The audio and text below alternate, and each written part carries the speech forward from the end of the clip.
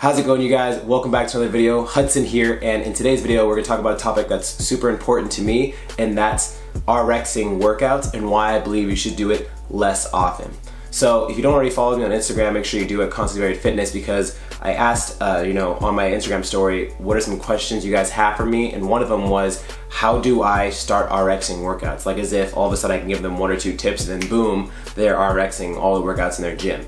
So this was a super uh, frustrating question for me because I feel like that's, you know, a lot of people just want, first they want those immediate gains, those immediate results, and just, you know, be able to uh, have, have muscle up tomorrow, have a new clean PR every single week, where it's a process in order for you to get better at certain movements. So real quick, I wanna give you guys a background or my background on CrossFit and how I got started in my process through my past six plus years of doing CrossFit. So I started CrossFit right out of high school at 19. I absolutely loved it. I was going every single day and I didn't find out about it from the CrossFit Games, which I feel like is a lot of people uh, back in the day when CrossFit Games was like really blowing up, like 2016, 2017. That was like the main way people were hearing it, it feels like. And then people were seeing Rich Froning, clean and jerk 315, and they're like, whoa, that's so badass. I wanna do that, and I wanna lift heavy all the time because lifting heavy is gonna help me get to that.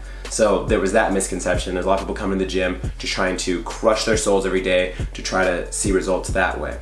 Um, but I didn't start that way. I just heard from, you know, a family friend talking about it and I was like, that sounds kind of cool. I looked up gyms near me. I started and I fell in love with it. So it was more just like, uh, I was an enthusiast and just wanted to get in a good workout with all these different fun movements, doing Olympic lifts, doing gymnastics versus just going to a regular Globo gym and using a machine. From there, about a year doing that, I started coaching within a year and I was, again, just head over heels with CrossFit and I was going seven days a week. I would do the Monday through Saturday class and then go on Sunday to do open gym and I was literally, I was infatuated about it and that's when I met my buddy Roderick where he introduced me to competition programmings and signing up for comps. So that, that's been like the past four or five years of my life, but has slowed down these last six months or so ever since they got rid of regionals. My competitive drive hasn't been as high, um, but it's still, you know, I like to do competitive programming. I still like to compete in the gym. I'm still signed up for the open and that kind of stuff. But it started as I just love CrossFit as a workout program. I got really competitive and now it's just I'm a, I guess you could say like a casual competitive type person when it comes to CrossFit. Uh, and but my goals as of right now is I want to live a long, healthy life and be able to do CrossFit for as long as possible. So going back to the main topic, people think that in order to get a great workout, they have to RX the workout, even though nine times out of 10, they have no clue what the purpose of the workout is. So this could be, you know, multiple reasons why this is happening. So the main reason this might be happening is that your coach isn't actually relaying what the workout is meant to do. So let's say, for example, I put a workout on the board and it's three rounds, 10 power cleans, 10 box jumps, 10 pull-ups. Sounds pretty simple on paper, but let's say I make the power clean weight like 225 for guys, 155 for ladies. The box jump height is uh, 30 for guys, 24 for ladies, and pull-ups have to be done unbroken. That's a totally different workout versus if I made the bar 95, 65, you know, typical box height, and you could just break up the pull-ups however you want. So when people see workouts written a certain way, they think that I have to do the workout as written in order to maximize results. Whereas if you look at a workout like that and see 225 power cleans, a lot of people can't power clean 225 or that might be close to their power clean max. Now, let's say I tell my athletes, hey guys, I want you to pick a weight around 70% of your max power clean, so it should be a heavy weight. You probably break it up in a sense of like two or three or really, really fast singles, but it's not a weight you're getting stuck at. That's a totally different workout versus saying, hey guys, I want you to do this workout around 90% of your max power clean, and then it should be grueling, heavy power sink, uh, power cleans. So that way, you know, you can go slow there, but then maybe push the uh, box jumps and the pull-ups. There's so many different ways a single workout can be slightly tweaked to be performed differently to get something else out of it. Maybe your coach wants you to do a moderate weight, which is why they give you that 70% uh, recommendation. Maybe they want you to do a heavy weight, that's why it's 90%. Maybe it's 95, 65, so you should be able to be unbroken reps and everyone should be able to just go, go, go and get it done as quick as you can. So that's the first thing is understanding what's the point of the workout will help you better assess if you should RX it. So many people when they first they get their first power clean at 225 or whatever it may be and they see a slightly lighter weight in that in the workout, they go and say, oh, I can RX this workout. I'll probably get hit by a time cap like halfway through or I might just barely squeeze by. But what ends up happening is now you are just when the stimulant is meant to be, let's say again, that 70%, it's meant to be a lot faster. 70% for a lot of us when we're breathing hard isn't too bad. We can still keep moving through it. And 70% is not that heavy to where we can still have good form. Where naturally, the more intense the workout is, whether it be uh, the speed of the workout, whether it be the weight of the workout, the volume of the workout, it definitely changes how you perform it and how your body can move throughout that workout. So if I'm struggling to finish an RX workout, but that wasn't the idea of it, not only now am I not getting the same stimulant, the same approach to the workout and moving at the same intensity as everyone else, I'm at a higher risk of injury, which is obviously something we all want to avoid and stay away from. Now, there's different ways you can assess when you're ready for RX. So one thing that I thought of that really you know clicked in my mind when I first started uh, RXing workouts, and I feel like a lot of athletes I try to relay, relay, relay this to them the best I can, is the fact that okay, when you look at a workout and it doesn't scare you, or you don't think that I probably wouldn't be able to finish this workout. The time cap in my eyes and how I program, and I feel like how a lot of gyms program, is not meant to be hit. Sometimes I'll write a workouts where I'm like, yep, no one's gonna finish this workout. Maybe a very small select few that are really proficient at the movement or are really strong or gymnastics, whatever it is.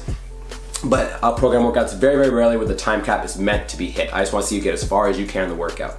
The time cap is you need to be done by this workout at least at this time, or at the very longest at this time. So if it's that three round workout I mentioned before, it's a 16 minute time cap. You don't want to be finishing at 15:49. You want to be finishing a few minutes before that. Again, that's just how I program, but in my eyes and how most gyms program, the time cap is not meant to be hit. The time cap is the slowest possible or the longest amount of time you could possibly take to try to finish this workout. So if you think you're gonna get time capped, or you think that this weight is really, really heavy and you think you might risk the chance of failing reps, then that's a reason not to RX. Never let yourself fail reps in a workout. I let people fail reps twice. So you can have one attempt at failing a rep or one attempt and you end up failing it. I might, I'll, if I see it, I'll give you some cues what I think will help correct that and help you hit the next lift. But if you miss the second one, I have my athletes change out the weight because, well, A, you're wasting energy and you're not getting anything done in the workout. You're getting stuck at the same movement versus going through the workout how it's intended. B, you're now practicing bad techniques. So now you're practicing missing reps and not completing the rep, which is just gonna instill bad habits and you know get you more timid when it comes to approaching that weight again later on where we want to build the strength to where when you go to hit you know a new PR attempt you're confident because you've been crushing the 80 90 95% below that weight and then C you run the chance of risking injury because a missed lift whether it be uh, you know, a clean, whether it be, um, trying to think of other lifts you might miss, like a wall ball shot, maybe possibly if like if wall balls are really tiring for you, missing a rep just has zero benefits from it. There's no need to miss reps. It's not uh, Karate Kid where you try again, try again, wax on, wax off. It's supposed to be practicing good habits, making sure you get the workout done in a prompt time because it is constantly very high intensity functional movement. So I made I don't think I made a video about this. I'll probably make a video about this soon as well, but people get the word high intensity confused with maximum intensity. I got that from Ben Bergeron's podcast, um, which really hit home to me because I feel like a lot of people also get that confused and think they have to go 100% in a workout to get a good workout. But that's not the case either. But anyways, if you think that you're gonna hit by the time cap or you think that the, uh, the weight is gonna be too heavy and you might risk a chance of failing reps, scale down. Also, let's say you are someone that's been doing CrossFit for like five or six years, you feel like you're pretty proficient at movements, you feel like you're pretty strong, you feel like you have a good grasp on how to approach the workouts, but maybe some days you come in and you're just not feeling it. Maybe you come in like, yeah, my back's just really sore from this week and my, my quads are bugging and my shoulders are iffy and you see squat snatches in the workout, those probably aren't gonna feel that great. And if you try to RX, you then go back to the original problem we have. You, the weight might be too heavy that day possibly, even though it's more a routine lit weight uh, other days, you might risk the chance of an injury or you know you might risk the chance of getting time cap. So it's based off the day. Some days I come in, I don't feel so hot. I modify movements, I modify weights, I make it so I can still get in a good workout, but not crush myself and just you know not enjoy the workout as much as I possibly could. Another big thing is what are your goals in the gym? Unless if you want to be competitive, do local comps, do sanction events, you really want to maximize your limits and you have uh, you know, a lot of time spent at the gym. You don't have much responsibility. So like you're some college kid or you're someone in their mid 20s that has some free time that doesn't have a family yet, doesn't have any kids, doesn't have a lot of responsibilities, a business to run or anything like that, then you have more time to spend a few extra hours in the gym to work on technique, get stronger, and then that will allow you to RX more workouts, obviously.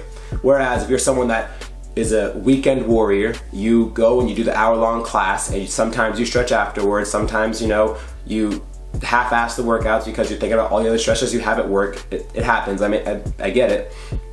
But if your goal, what is your goal to be the first on the leaderboard every single day? If that is the case, why? Why do you want to do that? Truly assess what makes you go to the gym. Why do you like to go to the gym? And why do you do CrossFit? Is it, do you want to lose weight? Do you want to gain muscle? Do you want to keep working out and your health fun and not just go through the same routine movements every single day? If that's the case, stay far away from RX. Keep the weights light, get a good sweat on, focus on technique to keep yourself injury free and not let yourself start to slip up and then have these nagging pains and injuries. And then most importantly, stretch.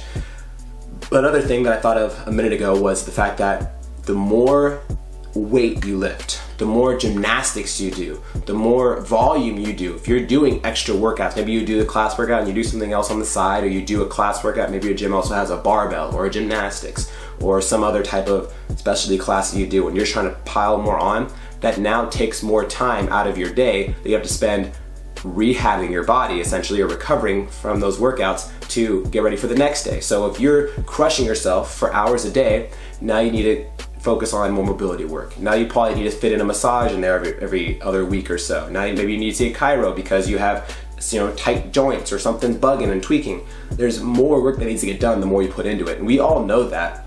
If you want to get good at something, it's put more and more time into it. But it's very easy, or not not easy, um, but it's you know totally different to where let's say you want to um, you know get a degree. You're going back to school and you want to get, you know, your bachelor's or your master's, whatever it is. The more time you spend reading, the better off you're gonna get at that. Whereas the more time you spend working out, now it's pretty much breaking down your body. You spend more time. This it's literally you're burning the candle at both ends, and now you have not only are you working out more, you have to spend more time making sure you're able to keep working out more. So that's another big part of it as well that I feel like a lot of people don't get, and they just take their bodies willy nilly, and then all of a sudden I absolutely hate hearing this, but when someone says, oh, you know, once you get to my age, or one, you know, oh, I turned 40 the other day, I already feel my back tightening up. Getting older doesn't equal getting injured or having, or, you know, p- having pain be normal. There are plenty of 70 and 80 year olds that go run Boston Marathon or the Boston Marathon or any other marathon. They, you know, go on crazy um, mountain adventures and climb these Mount Everest and all these different ones. Like there's so many people that don't let their age be an excuse and they take care of themselves and they focus on the other little things that help them work out that keep that stay healthy and then they can do the thing they love for that much longer. Working out is an hour of your day. Are you getting eight to 10 hours of sleep? Something I'm working on. I'm struggling with that. Sleep's really hard, especially when you have these two little crazy dogs that want to jump on your bed every morning. Um, but you know, are you again getting massages? Are you stretching every night before you go to bed or after your workouts possibly? Are you eating the right foods and making sure you're staying healthy? So many people come to my gym and they crush Monday through Friday. They kill the workouts, they do a great job, they eat pretty healthy, and then they come in on Monday and they're like, whoa man, I spent all weekend drinking, especially where I live in San Diego. There is a bar or a brewery on every other street like a Starbucks. So that's the big thing everyone likes to do. So going and drinking seven drinks on Saturday and then having a couple mimosas on Sunday or then having beers while you're watching football on Sunday, that's not going to help you keep working out and keep getting better. I have people in my gym that wish they were better than they are now, but then I see them on Instagram partying up all the time. That's on you.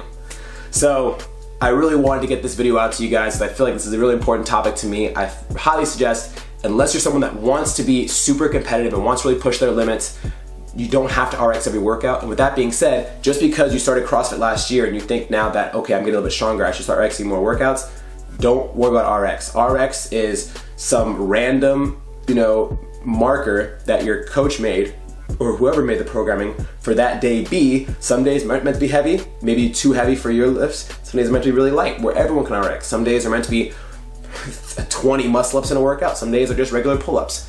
Assess what you can do. Are you gonna get what the workout's intended for you to do? Are you gonna go at the same pace as everyone else? Or are you gonna get stuck behind and take 10 minutes behind the other, the second slowest person in the gym and everyone's gonna be sitting there watching you like, dang, why did this person scale? We're sitting here cheering them on, but they're standing there, staring at the bar the whole entire time doing nothing. So that's where I'm gonna end this video. I really wanna keep the discussion going in the comments, so let me know what you guys think about uh, you know, people that RX the workouts that probably shouldn't, your experience with this. Do you RX every workout? Do you RX none of the workouts because you don't care about RX and you just wanna move and again be sweaty and you know stay healthy and functional? Um, I really want to know your guys' opinion on this. I'm very excited to hear. If you enjoyed this video, make sure to hit the like button. Please share this video with anyone you think it might be helpful for. Subscribe for plenty more videos. Expect three videos a week starting January 1st. We're going back on the YouTube grind. There was a period where I was posting like every single day for a while. That's gonna slowly start coming back into effect. I'm gonna start making these quick videos for you guys um, because I really enjoy giving you guys content and hearing you guys' opinions. Um, if you don't already, follow us on Instagram, Constantly Fitness. Well, next time I uh, leave it, ask me a question. Make sure you leave me a question. I'm gladly help you guys out. And the reason this video started was because, again, I asked, I asked you guys, asked me questions on my Instagram, and this was one that really hit home to me and my gym and my programming, and I wanted to share with you guys and make sure, you know, I can help out as many of you as I can and help eliminate as much frustration as possible when it comes to those workouts. So follow me on there. I'm gonna do an ask me a question probably like once a week. Um, and then if any of them are, you know, that need a longer explanation, then I can just type up, I'll do a video for it. So thanks again for watching you guys. We'll see you guys soon.